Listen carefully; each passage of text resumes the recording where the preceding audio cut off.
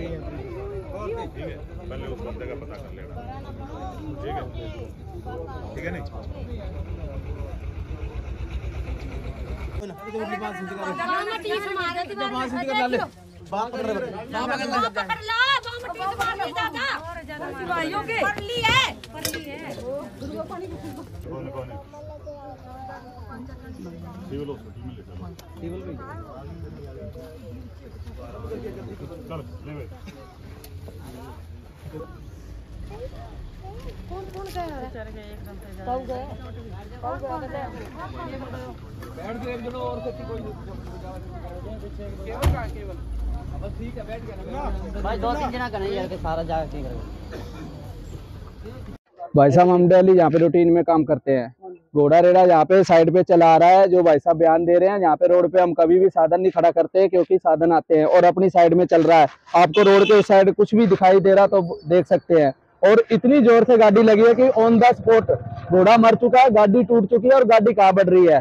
गाड़ी कोई रोड पे नहीं खड़ी थी डेली रूटीन में काम करते हैं और बस वाले की बहुत ज़्यादा स्पीड थी, क्योंकि बस भी डैमेज हुई पड़ी आगे से, सारी बस टूट गई बस का स्टेयरिंग बस लगभग साठ पैंसठ की स्पीड से आराम से लग रही है क्योंकि जिस तरह से ऑन द स्पॉट ये हॉर्स मर चुका है और जो चला रहा था चालक वो भी बहुत दूर जाके गिरा और उसके काफ़ी चोटें आई हैं। क्या कहना चाहोगे आप? ये रेडा देख लो जी आप के ऊपर टंगा हुआ है इतनी ज़ोर से टक्कर मारी है और कहीं भी ब्रेक के निशान नहीं है सड़क पर अगर उसने ब्रेक ली हो तो। अगर ब्रेक लेता तो सड़क पर निशान होते ही उसके।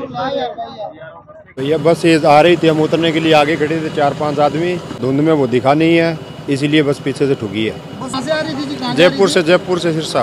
मामला एक धुंध के कारण खच्चर रेडी और बस का एक्सीडेंट है? अच्छा।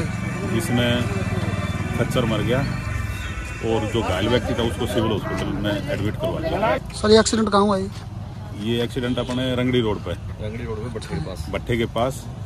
और आगामी कार्रवाई अपने पीएस सदर सिरसा करेंगे।